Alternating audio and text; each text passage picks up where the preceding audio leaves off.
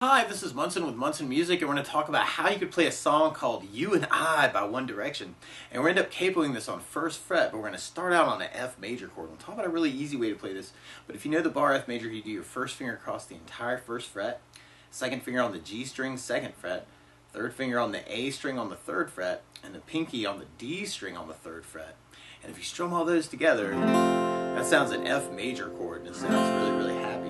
Now, a good substitute for that, though, if you want to avoid the bar chords, is something called F major 7. When you play F major 7, first finger goes to the B on the first fret, second finger on the G string, second fret, third finger on the D string on the third fret. And if you strum the D string to the high E string, that sounds an F major chord. It sounds really happy.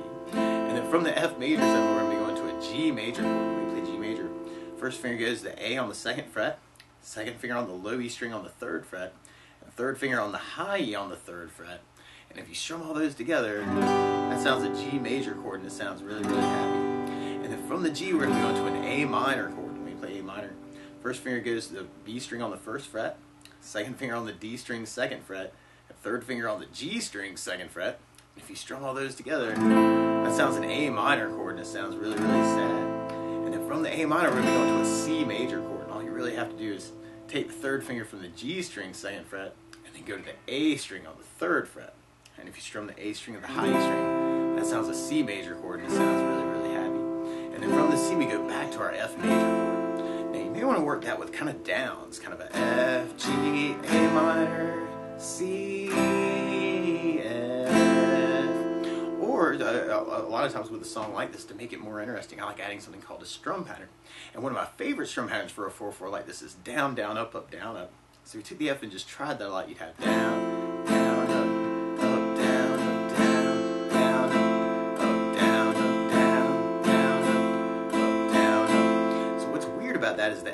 kind of have that pattern. So on the F and G, you may want to do kind of a down, down, and then hit the G for your up, up, down, up, and then do your whole pattern for the A minor, and then your whole pattern for the C, and then your whole pattern for the F. It's a little weird there. But F, down, down, G on the up, up, down, A minor, down, down, up, up, down, up, C, down, up, up, down, up, F, down, up, up, down, up. Now that's rhythmically how it works out. Really kind of hear in the recording is kind of the F with kind of a down, down, up, G with a down, down, up, and then A minor with kind of a long down, down, down, up, C with a long down, down, down, F with a long down, down, down. You may want to kind of, kind of, kind of kind of between those two patterns too, kind of depending on, on how you're thinking about approaching the tune. And we'll basically be repeating that until we get to kind of our verse part. On our verse, we start on G major.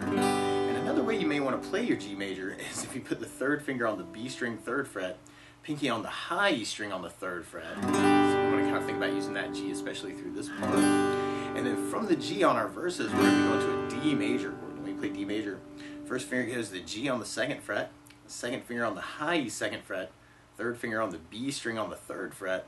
And if you strum the D string to the high E string, that sounds a D major chord. It sounds really, really happy. It's kind of a quick hit to a D. And you kind of hear the bass going to the second fret on the low E string on that change. And that's an F sharp note. So you could even kind of put those together in kind of a cool way by doing first finger on the low E string, second fret, second finger on the G string, second fret, third finger on the B string, third fret, and the pinky on the high E string, third fret. There's something called D sus slash F sharp, which can be cool between that G to that D change, which leads us into an E minor chord. And when you play E minor, first finger goes to the A on the second fret, second finger on the D string, second fret, and if you strum all those together, it sounds like an E minor chord. Now on the E minor, you could also take the third finger and add them in on the B string, third fret, pinky on the high E string, third fret. And that sounds an E minor chord. That sounds really, really sad, or E minor seven. And then from there we go to a C major chord, but you may want to think about playing a C major nine, where you do your first finger on the D string, second fret, second finger on the A string, third fret, and if you strum the A string and the high E string, that sounds a C major nine chord. It sounds really happy, so you might want to think about the C through the verses too. Now if we're going to do that with our down, down, up, up, down, up, the G and the D would kind of half, so you just do the down, down, up on each of those chords. So you have our G down,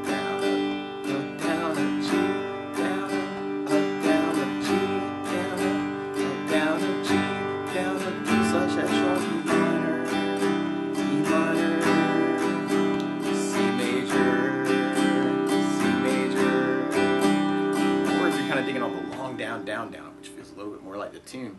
On that G-D change, you can do it down, down upon each of those chords. So you have G, down, down, G, down, down, down, down, G, D slash sharp, D minor.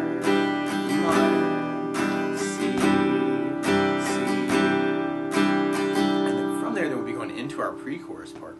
And on our pre-chorus, we do our E minor and D, and then a C. And you may want to kind of think about just doing that with downs, or if you wanted to fill it in with the strum pattern, you could do kind of a down, down, up, down, down up on the D, and then C with the whole pattern. Or you could use kind of that long down, or the down, down, up on the D minor D, E minor D, and then kind of save your long down, down, down for the, the last C. So we want to kind of play around with that. And then from there, then we go into our main chorus.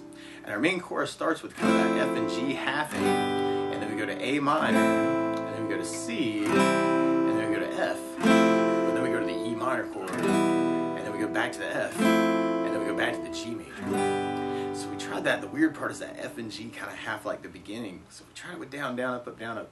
You'd have F with the down, down, G on the up, up, down, up, A minor, down,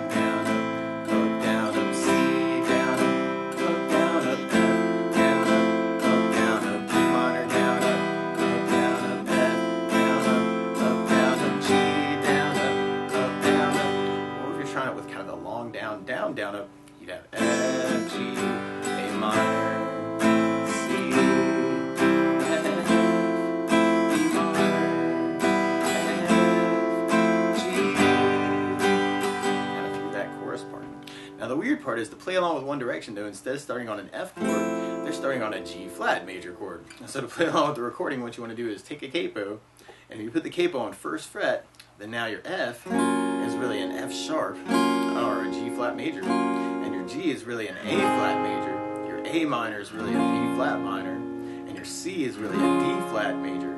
And when we get to it, the D major is really an E flat major, and your E minor is really an F sharp minor or an F minor. But to take it from the very beginning, you could kind of work that with the down, down, up, up, down, up, and have F the down, down, G on the up,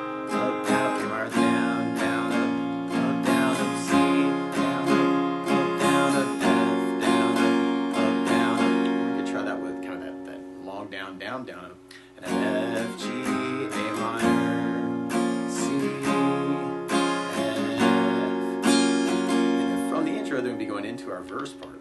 So we try that with down, down, up, up, down, up, and G, down, up,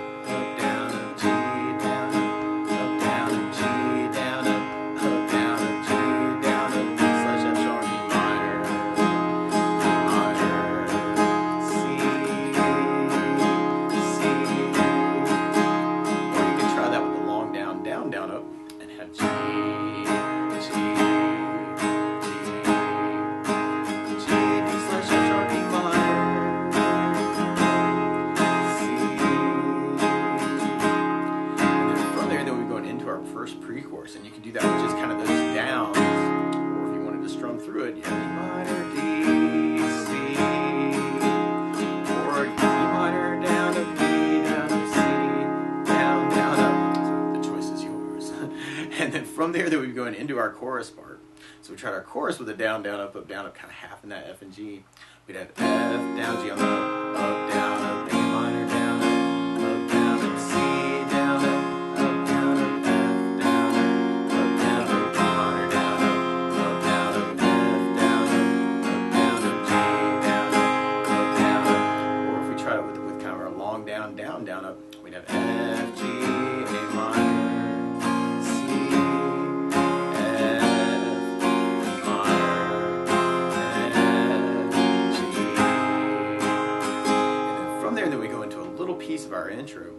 something else I think about adding to the song, though, is bass notes. A lot of times on that first down of the down, down, up, up, down, up, or the long down, down, down, up, or the down, down, up in some cases, you can throw in a bass for the chord. So on the F, on the F major 7, you have the D for the bass.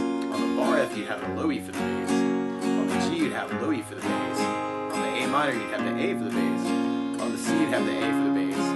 On the E minor, we'd have the low E slash F sharp, you'd have low E for the bass. And all the G, you'd have the low E string for the bass.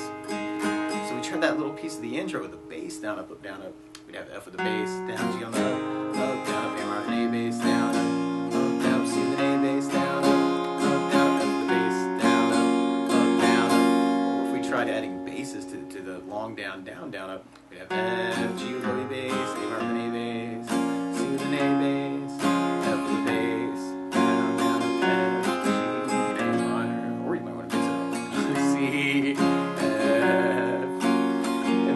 there, then we'd be going into our, our next verse part. So we tried that with a bass down, up, up, down, up. We now do Louis bass, do Louis bass, bass, bass.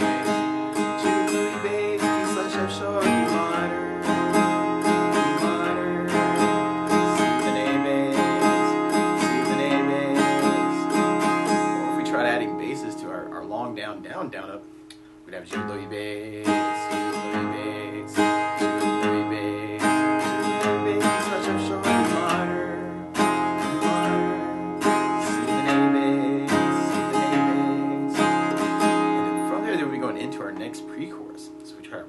chorus with a bass down up, up, down up.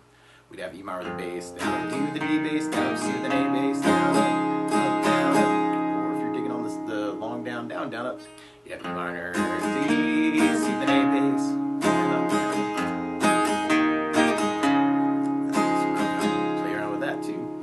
from there, then we'd be going into our next chorus. And so if, if, we tried that with a bass down, up, up, down, up, we'd have F with the bass, down, down, up.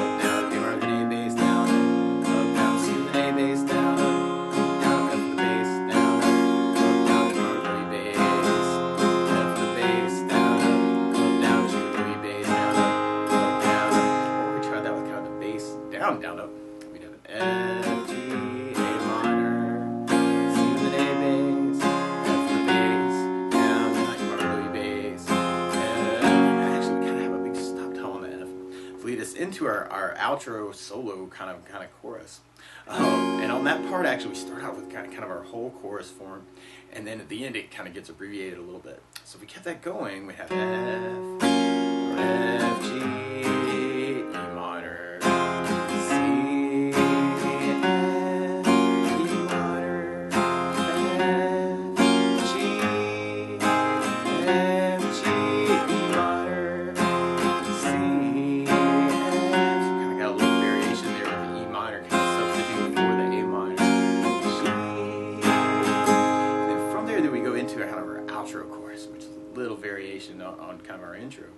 So we got kind of